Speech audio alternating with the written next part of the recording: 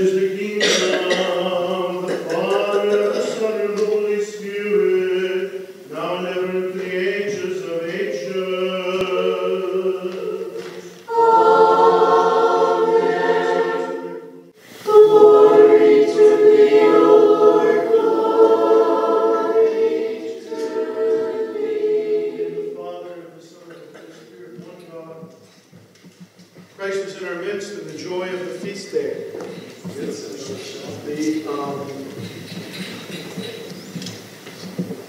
striking difference between the old and the new is celebrated today. So, inside of the temple, inside of the Old Testament temple, you have the rites of purification and sacrifice going on all the time.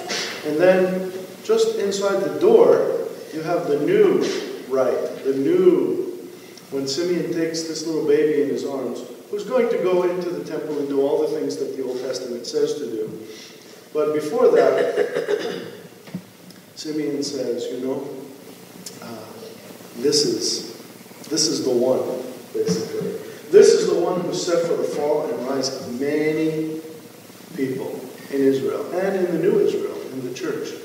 So he establishes yet again, feast after feast after feast, like event after event, he establishes again this, I don't want to say abolishing, but transfiguration, if you will, of something old into something new. That's what that epistle was all about today. You know, you have in the Old Testament the law of Aaron, or the priesthood of Aaron, I should say, the priesthood of Aaron. You know what the priesthood of Aaron is? It, it morphs, if you will, uh, again, transfigures, into this priesthood, the priesthood of the altar, you know? And not everybody does that. But the priesthood of um, uh, Melchizedek, as you heard St. Paul talk about, the priesthood of Melchizedek, which is this mysterious priesthood, this Melchizedek, like, he just comes out of nowhere to be the priest in Abraham's life after a victory, you know. So, this priesthood is the one that Jesus uh, accepts for all of us, or bestows, let's say, on all of us. The priesthood of Melchizedek. Thou art a priest forever, according to the order of Melchizedek. This is the priesthood that he takes on himself, you know, to establish for everyone. So you still have the two priesthoods, Moses, uh, Aaron, and Melchizedek. But now you have this one of Melchizedek, which is simply, look how it's, look how it's established in the New Testament, in this feast. Simeon takes the baby in his arms and he says, Lord, now let us die. So that's it. That's the continuation of the priesthood of Melchizedek, which is the priesthood of all believers. The royal priesthood. You know, you are a royal priesthood. You are a holy nation. You know that? all of those prophecies. That's what's happening, you could say, like outside of the temple or like in the porch of the temple. Inside the temple is, of course, the inner life, which is the, the Aaronic priesthood, which still happens. But now it happens with not an animal, not a blood sacrifice, but the once and for all unbloody sacrifice of our Lord and Savior Jesus Christ. That's what we're doing today. So you have the whole Christmas sequence. You know, this is the end of the Christmas uh, season, you could say. So you have the old going to the new, the new, and all the feasts, and every one of the feasts. And now this one like culminates that Christmas uh, renewal, if you will. So on, on this day, now you have another sign that the Lord is saying, look, the temple, the physical temple in Jerusalem, and all of the worship therein had its place. had its place. It was, it was uh, important. It was established by God. You, have, you go through all the pages of the Old Testament. You see the Ark of the Covenant. You see the temple, how it was supposed to be like uh, adorned and everything. And then when it was destroyed, how it was rebuilt, how it was supposed to be rebuilt, and all of that. Now he's saying that time is over. In fact, not too long after Christ comes and after he goes in his ascension, not too long after that, the temple is destroyed completely. except that one wall that still stands, you know, but it's gone. It doesn't even exist there. But now we have a new temple, if you will. That's the temple that Simeon held in his arms, you know. And that's the temple who he addressed, you know, like the Theotokos who held him in her womb. You see? Now we have a new temple, like St. Paul says in another place, not made with stones and bricks and mortar made with flesh and blood, made with human beings, with us. So that's um that's the beauty of the kind of transformation. That's why we have this epistle today. The transformation. Like we have to think new all the time. All the feasts cause us to think new about ourselves and about a new relationship with God. We are not like so separated from Him anymore, right? That we can only find Him in the temple, like in the Holy of Holies, and that a sin offering has to be uh, given. Like Joseph and Theotokos were poor people, so they could only oh, they couldn't offer like the lamb and all the big. They offered two little pigeons, you know, two turtles, two little turtle doves. That's all they could offer.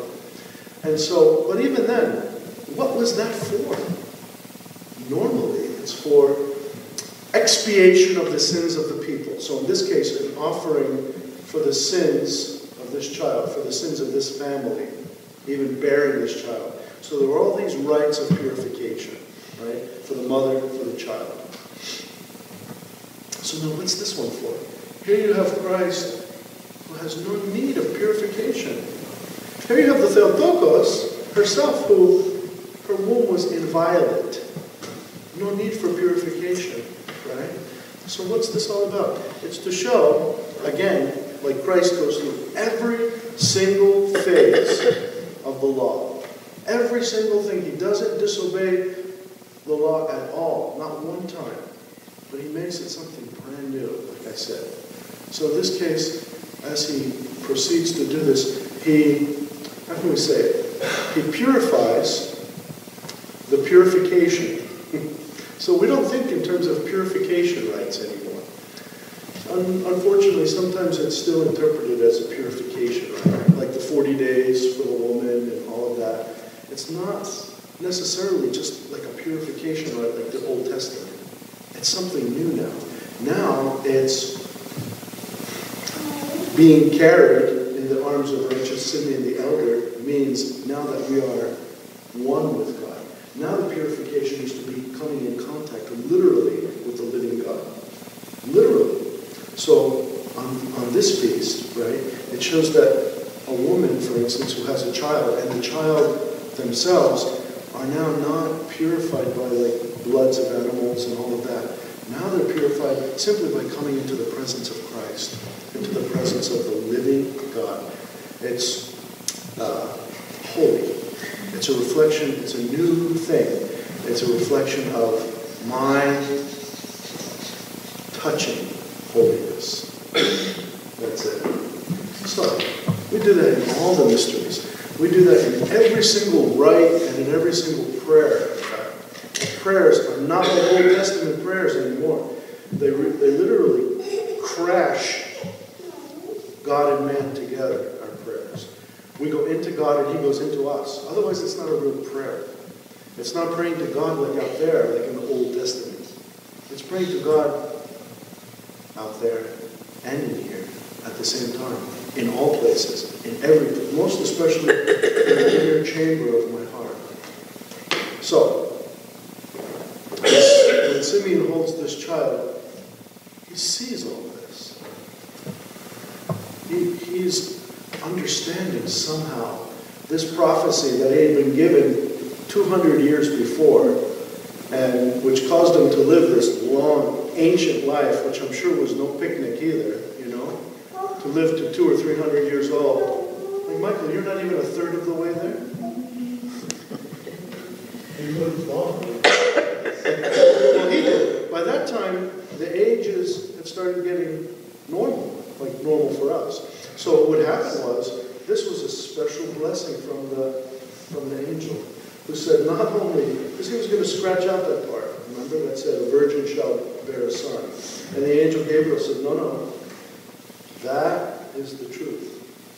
And in fact, you will live to see the fulfillment of this prophecy in your lifetime. So the prophecy of Isaiah is filled in the arms of the righteous Simeon. And he looks and he says, I understand. I experience it. I can impart in peace now, because now I, I know, like, not only with my feeble, you know, ridiculous mind, which was going to do that, but now I understand with my whole being, like, how the transformation has taken place. Who knows what noetic things were going on in the, in the soul of Simeon at that time? Those very things are given to you, but they're not given to you cheaply. And they're not given to you like willy-nilly. You have to want them, and you have to practice them. You have to go to the places where they are accessible. Where are they accessible? In confession, in communion, in any of the mysteries of the church, in any like holy, deified place, and especially right here. Anywhere, anytime we can go into the chamber of our heart and invite, you could say, like uh, attract God there. This is available to you. But you see, you have to take advantage of that availability. It's not just going to come. The, the Holy Spirit's not going to force you, not going to bomb you with His grace against your will, like compel you somehow. Never happens, right? And in the, in the life of Simeon, it took all those hundreds of years for him to realize that for him to say, okay, I'd like to see my salvation. I'd like to come in contact with, you know, like what's, what's happening? Why am I still here? What's going on? And then finally, because he was open to that, because he was aware that something's going to happen one of these many years, 200 of them waiting, waiting. In one of these years, it's going to happen. And in one of these moments in your life, it's going to happen. You're going to come into contact with the living God, and you're going to hold him, not in your arms, but in your heart. And you're going to say, oh, now, Lord, like that prayer of St. Simeon. Now it should have a new meaning for you when you think about it in the light of this feast. Now let your servant depart in peace. For mine eyes, and we say like not just the physical eyes, my spiritual eyes, my noetic eyes, have seen my salvation. Your salvation to me have seen my salvation, etc. And the rest of it, right? He's a light to the Gentiles and to the new, the new Israel, which is the church. And he's now in me and with me and among us.